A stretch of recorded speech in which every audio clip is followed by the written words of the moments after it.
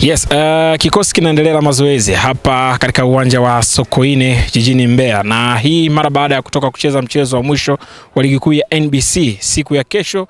Uh, tutakuwa ugenini katika uwanja huu huu ambao leo hii tunafanya mazoezi ya mwisho. Tanzania Prisons wenyewe watakuwa wenyeji katika uwanja huu. Sisi Simba Sports Club tutakuwa wageni katika mchezo wa ligi kuu ya NBC, na kama ambavyo unaona kikosi eh, chini ya mtaalamu Fadu Davis kinaendelea na mazoezi kuhakikisha wachezaji wote wanapata maandalizi ya kutosha na kila mmoja kufuata yale maagizo ya kiufundi ambayo atampatia eh, kuelekea katika mchezo wa kesho. Lengo kubwa ni moja tu, kuhakikisha katika mchezo huu wa ugenini hapa jijini Mbeya tunapata pointi tatu na kujiweka katika mazingira mazuri kwenye msimamo wa ligi, lakini pia kutimiza malengo yetu mama, kuhakikisha tunavuna pointi tatu. Wachezaji wote ambao wamesafiri hapa wote wako vizuri, wale ambao walipata nafasi ya kucheza kuna mchezo uliopita na hata wale ambao wakupata nafasi ya kucheza wote wameungana kulingana na maandalizi ya mchezo unaofuata.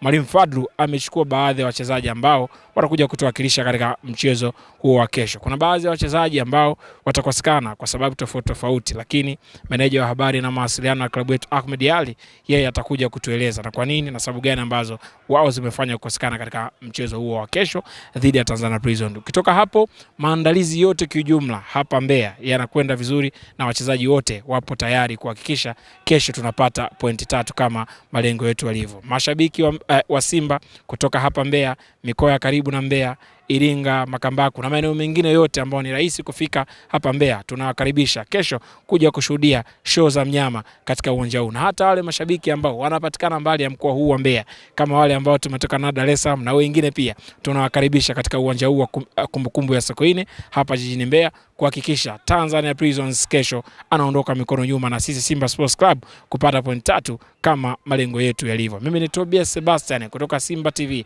ambaye nitakujuza vyote eh, vitakavyotokea hapa jijini Mbeya vitakavyohusu timu yetu kuanzia mwanzo hivi sasa mpaka tutakapomaliza mchezo na hadi tutakaporejea pale Dar es Salaam kujiandaa na ratiba nyingine. Nyuma ya kamera ni Albert Mringo.